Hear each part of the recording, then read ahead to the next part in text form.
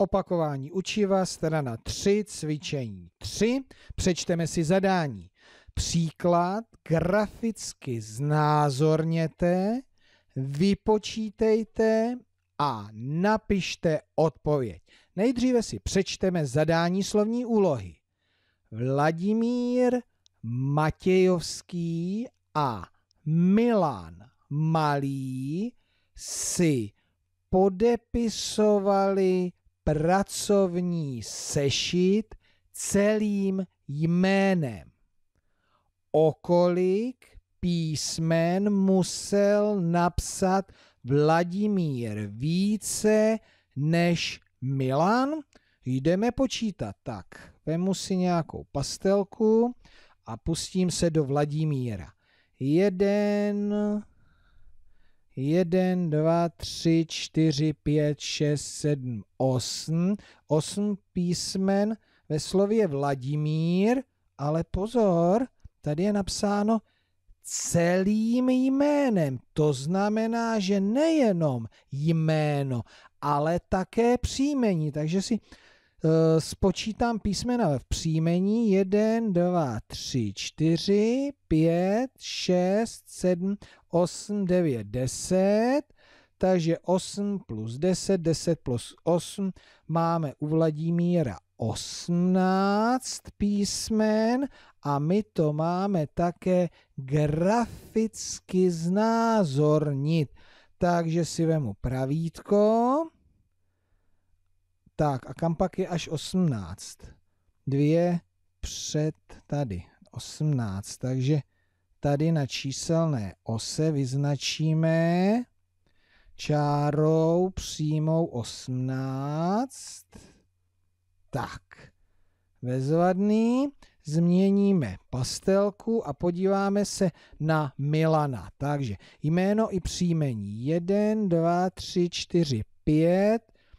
Křestním jméně 1, 2, 3, 4.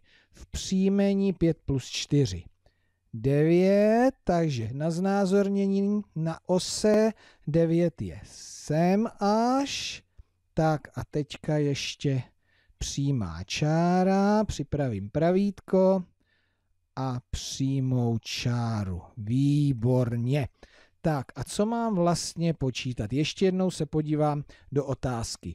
O kolik písmen musel napsat Vladimír více než Milan? Čili to je tady to. Tohle to nevím. O kolik písmen napsal Vladimír více než Milan. Vypočítám to tím způsobem, ten rozdíl, že od většího čísla odečtu menší číslo a dostanu tento rozdíl. 18 minus 9, kdo to ví? Rovná se? Tak, schválně, já to tady překontroluji. 1, 2, 3, 4, 5, 6, 7, 8, 9.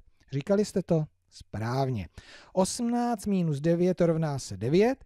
No a nyní napíšeme odpověď. O kolik písmen musel napsat Vladimír více než Milan je otázka.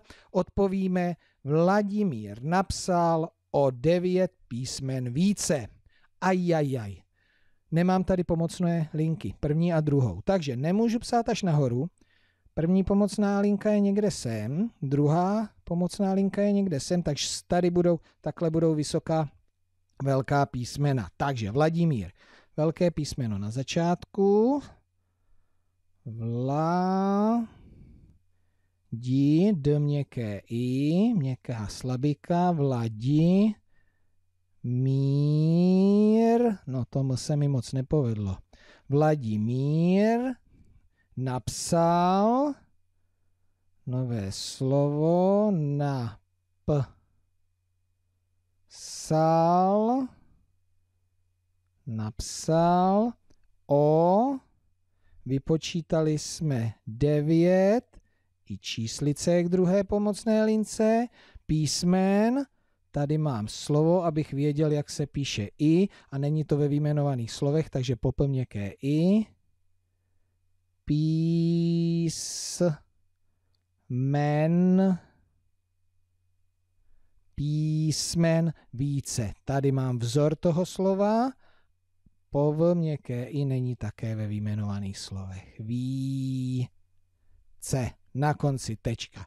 Tak, příklad graficky znázorněn, vypočítán a napsaná odpověď. Všechno máme, tak teď se puste vy do sešitu.